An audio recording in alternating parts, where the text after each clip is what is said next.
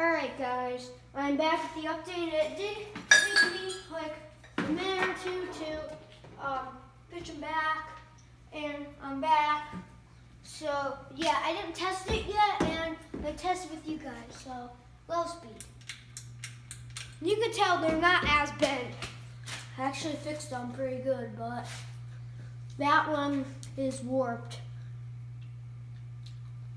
I fixed some of them, but for some reason they warped back down.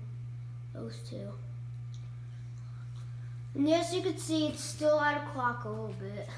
Not as bad. Looks like it does have a, oh, whoops, I accidentally kicked the tripod. It looks like I had to uh, back capacitor a little bit. So, yeah. There's medium speed.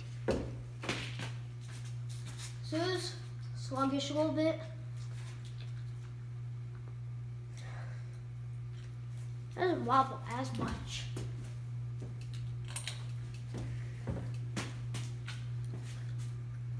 Fan's doing better though. Still out of clock a little bit, but not as bad. High speed.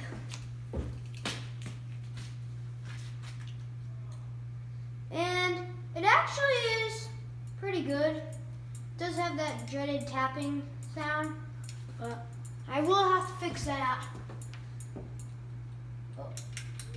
Well, overall, very good. Thank you for watching and see you later. Bye, guys.